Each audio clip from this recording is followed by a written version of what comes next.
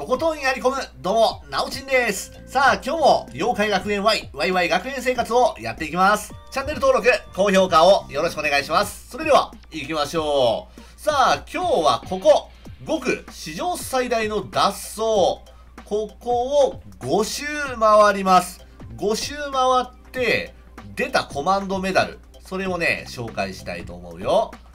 今日は、こっからスタートです。入手順。485個目まで持ってるので、次は486個目からです。ド発点の次からね。はい。それでは5周、いってみましょうはい、それでは1周目だね。今回早かったね。ここまで3分ぐらいで到着しました。いい感じだったらそんぐらいでいけるよね。で、スパルタ教師はめちゃめちゃ弱いから楽勝終わった？あと一発。ブルストレームはい。まあこんな感じで残り4周頑張って回ってきます。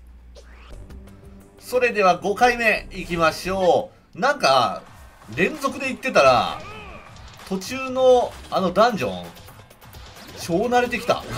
本当に。簡単に3分以内ぐらいで全然クリアできるようになってきたな。いやよかったよかった。結構ここね時間かかるから嫌だったんだけど全然余裕でいけるようになってきたね。あなんか分かってきたぞここ。まあ、とりあえず集計見てみましょう。ではでは集計はどんな感じでしょう？えっ、ー、と486番目だね。486あえあんまり出てないな今回の。コマンドメダル。全然出てないぞ。えー、っとどこだっけ？あ違うレア順じゃない。入手順ね。入手順のえー、っと486土発点のところ。こっからだな。こっからスタートです。えー、いきなり出た。ダークブーメラン。そしてグランゾーとネコスカドライブ。出るんだね、ここでも。うん。これは、ラビリンス、回った方がいいかなと思ったけども、ここでも出る。あ、でも、ラビリンスの方が、レベルは高いけどね。あっちは700ぐらいのやつが出るんで、700出ないな。600半ばぐらい。なんで、あっちの方が全然いいですね。そして、タイムバインド。珍しい。タイムバインド。で、十文字粉砕山。ローラーダッシュ。で、ダークブーメラン。おここ結構、いろんなものが出るよ。そして、そして、あ、また出たね。グランゾーとネコスカドライブ。うん。ここで入手するっていうのも、まあ、ありかもしんないね。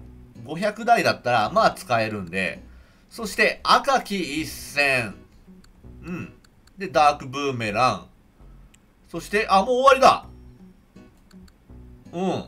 グランゾートネコスカドライブ、ミスティックダッシュ、で、ダークブーメラン。だね。ここは結構いろんなものが出ましたけども、レベルは、まあ、500、最初から500半ばぐらいかな。うん。まあ悪くはないけども、率先してくるところでもないかもしんない。あ、ただ、この素材は使うことが結構あるので、それで回ることもあるかな。まあ、とにかく、ガシガシ回ってると、あそこのダンジョンすごい慣れてくるんで、あ れいいですよ。最初はなんか10分ぐらいかけてクリアしてたけど、もうなんだろう、3分以内ぐらいでいけるようになりました。はい。ではね、また出していくので、チェックをよろしくお願いします。そして、チャンネル登録と高評価もよろしくお願いします。それではご視聴ありがとうございました。そいや